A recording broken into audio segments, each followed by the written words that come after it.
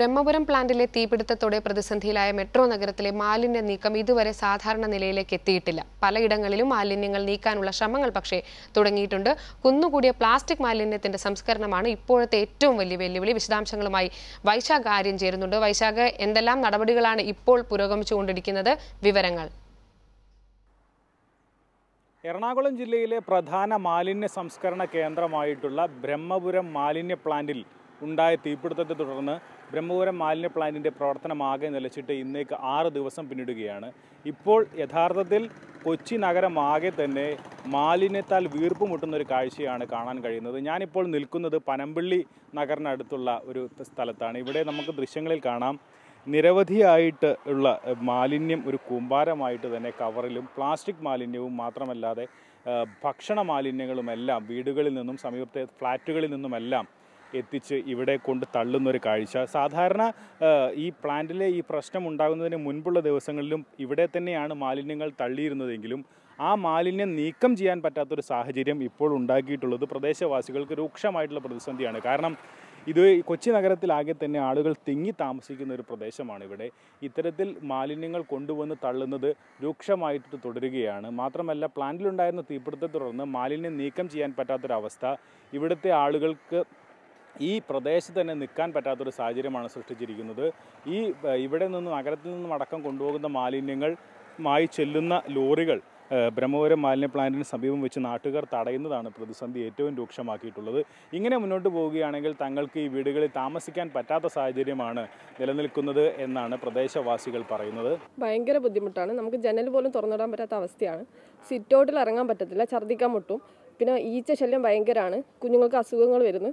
ഭയങ്കര കുറേ നമ്മൾ കുറേ പരാതി ഇവിടെ തന്നെ പറഞ്ഞു. സെക്രട്ടറി ബസ് അല്ല. പക്ഷേ ഒരു നടപടി ഇതിന് സ്വീകരിച്ചിട്ടില്ല. അവിടെ ഒരു പറമ്പ് കാലിയാണെന്ന് പറഞ്ഞിട്ട് അവിടെ കൊണ്ടുവന്ന് അത് ഇട്ടു പോകുന്നു. പക്ഷേ ഇപ്പുറത്ത് താമസിക്കുന്നത് മനുഷ്യരാണല്ലോ. അപ്പോൾ അതിന്റെ ഒരു ശ്രദ്ധ അവിടേക്ക് നഗരസഭ കൊടുത്തു കഴിഞ്ഞാൽ കുറച്ചൊക്കെ ഒരു ബുദ്ധിമുട്ട് ഒഴിവാക്കാൻ പറ്റും. വീടുകളെക്കാൾ ഉപരിയായിട്ട് ഈ മാലിന്യ പ്രശ്നം ഏറ്റവും രൂക്ഷമായി ബാധിച്ചിട്ടുള്ളത് ഫ്ലാറ്റുകളിലും ക്വാർട്ടേഴ്സുകളിലും താമസിക്കുന്നവരെയാണ്. കാരണം ഈ വീ- വീടുകൾക്കുള്ളവർക്ക് വീടുകൾക്ക് പുറകിലെങ്കിലും കുഴിച്ചിടാനുള്ളൊരു മാലിന്യം കുഴിച്ചിടാനുള്ള ഒരു സാഹചര്യമാണെങ്കിൽ ഫ്ലാറ്റുകളിലും ക്വാർട്ടേഴ്സുകളിലും താമസിക്കുന്നവർക്ക് അത്തരമൊരു സാഹചര്യമില്ല. അതുകൊണ്ട് തന്നെ രൂക്ഷമായിട്ടുള്ള പ്രതിസന്ധിയാണ് ഫ്ലാറ്റുകളിലും ക്വാർട്ടേഴ്സുകളിലും താമസിക്കുന്ന എറണാകുളത്തുകാർക്കുള്ളത്. ഏറ്റവും കൂടുതൽ ക്വാർട്ടേഴ്സിലേക്ക് ഉപദ്രവം എന്ന് പറഞ്ഞ് നായ. ഒരു എട്ട് പത്ത് നായകൾ ഈ റോഡുകൾ സഞ്ചരിക്കാൻ കഴിയില്ല. ഞങ്ങൾ നേരെ ഞങ്ങളുടെ ഗേറ്റ് വഴി വരിക കുട്ടികളെ ഉപദ്രവിക്കുക ചെരുപ്പ് അങ്ങനെയുള്ള സാധനങ്ങൾ. ഒരു നായയുടെ ശല്യം കൂടുതൽ. അതുപോലെ തന്നെ കാക്ക ഈ ഈച്ചയുടെ ശല്യം അതിലും കൂടുതൽ. അത് ഈ ജി ബ്ലോക്കുകാർക്കാണ് ഏറ്റവും കൂടുതൽ ഈച്ച ശല്യം വരുന്നത്. ഒരു ദിവസം നമ്മുടെ വീട്ടിൽ വേസ്റ്റ് ഇരിക്കുമ്പോഴുള്ള ബുദ്ധിമുട്ട് നമുക്ക് മനസ്സിലാവും. അതുപോലെ തന്നെ ഇത് ഇത്രയും കൂടി കടന്നു കഴിഞ്ഞാൽ ഇത്രയും ആൾക്കാർ ഇവിടെ പത്ത് നൂറ്റമ്പതോളം ഫാമിലി ഇവിടെ താമസിക്കുന്നുണ്ട്. അവർക്ക് എല്ലാവർക്കും ബുദ്ധി ഈച്ച വലിയ വലിയ ഈച്ചകൾ വന്നിട്ടൊക്കെയാണ് ഭയങ്കര ശല്യം തന്നെയാണത്.